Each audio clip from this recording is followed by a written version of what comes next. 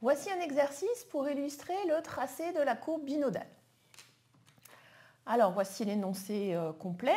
On a, pour pouvoir tracer cette courbe binodale, réalisé un certain nombre d'expériences dans lesquelles, à partir de mélanges d'acide acétique et d'eau, on a introduit de l'acétate de butyle jusqu'à la démiction, donc jusqu'à l'observation de deux phases. Euh, pour pouvoir déterminer des compositions de mélanges ternaires qui correspondent à la courbe binodale. Et puis on a fait de même avec des mélanges acide acétique, acétate de butyle, dans lesquels on a rajouté de l'eau également jusqu'à la démiction. Alors, les résultats expérimentaux sont regroupés dans le tableau que vous avez ici. Donc ça, c'est la première partie du tableau, et puis il y a une, autre partie euh, pour le côté acétate de butyle. Et puis on rajoute ici des informations sur la solubilité de l'acétate dans l'eau euh, et réciproquement. Donc en fait, on vous dit que la solubilité de l'eau dans l'acétate est nulle et que la solubilité de l'acétate de butyle dans l'eau est de 0,7%. Donc à partir de ces informations, on vous demande de tracer la courbe binodale.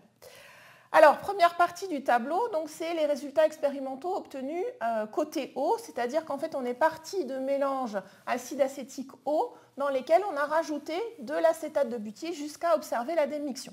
Donc ici, dans ce tableau, dans chacune des cases, vous avez la masse de chacune des espèces qui a été euh, utilisée pour obtenir cette démiction. Alors, on va compléter ce tableau tout simplement en calculant ici la masse totale de chacun des échantillons. Donc vous voyez qu'ils font globalement à peu près tous 100 euh, grammes, mais pas exactement.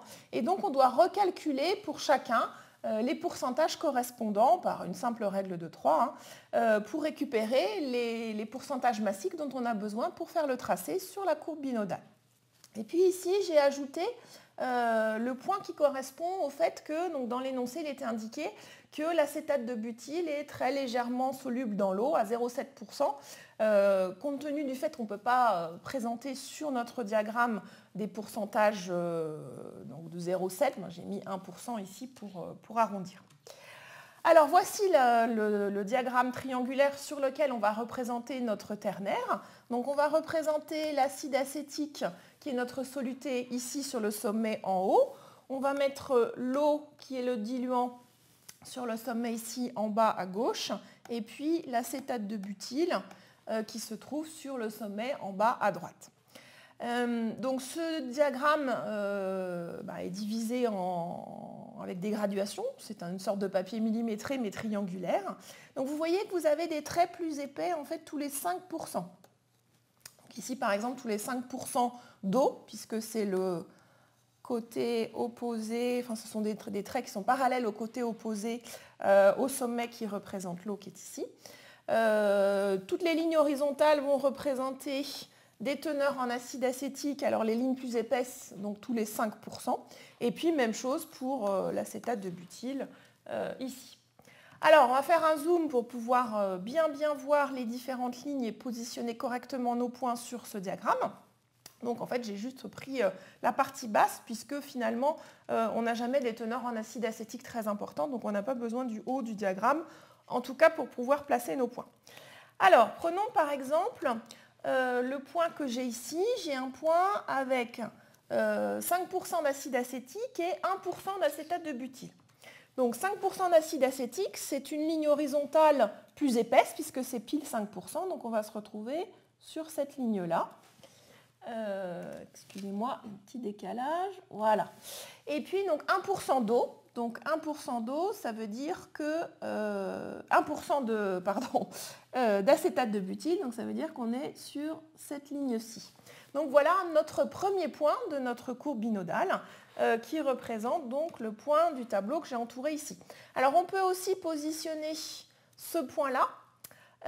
Donc on est à 0% d'acide acétique et à nouveau 1% d'acétate de butyle. Donc en fait c'est le point qui est ici. On va continuer. Donc le troisième point, on a 10% d'acide acétique et toujours 1% d'acétate de butyle. Donc 10%, on est sur cette ligne plus épaisse et puis 1% ici. Et ainsi de suite, euh, pardon. On va avoir à 20% toujours, euh, donc 20% c'est la ligne plus épaisse qui est ici, toujours 1% d'acétate de butyle, et ainsi de suite, on va pouvoir positionner les différents points. Alors de l'autre côté, on va partir exactement sur le même principe. Donc on a euh, le point qui correspond à l'acétate de butyle pur, puisqu'on a vu que l'eau n'était pas soluble dans l'acétate de butyle. Alors là, je vais peut-être avoir un petit peu de mal à le placer. Donc voilà, on a un point ici. Ensuite, on va avoir par exemple à 4% d'acide acétique, on est à 2% en eau. Donc 4% d'acide acétique, c'est cette ligne-là. Et 2% en eau, on est ici. Ensuite, euh, avec 10% d'acide acétique, on est à 3% en eau. Donc 10% d'acide acétique et 3% en eau. Et ainsi de suite, on va positionner les différents points euh, pour obtenir tous ces points qui sont représentés ici. Alors ensuite, euh, le, jeu, entre guillemets, va consister à essayer de tracer la courbe binodale qui passe par ces différents points expérimentaux. Alors Excel n'est pas toujours très efficace pour ça. Euh, voilà ce qu'il a fait de mieux.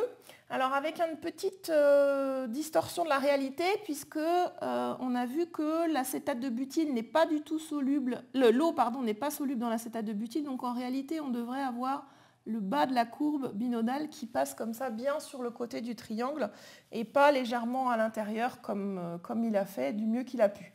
Alors on voit quand même qu'il y a quelques points qui s'écartent de la courbe, c'est normal, hein, ce sont des données expérimentales. Et quand on fait le tracé de la courbe binodale, eh bien, on va faire euh, un lissage pour essayer d'avoir quelque chose le plus correct possible.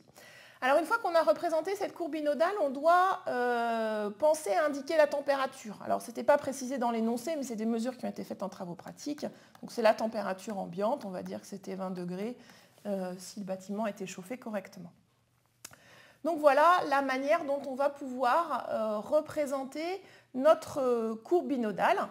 On va retrouver ce système euh, dans les différents exercices que l'on va voir ensemble et puis on va voir comment on va compléter cette courbe binodale avec les données d'équilibre.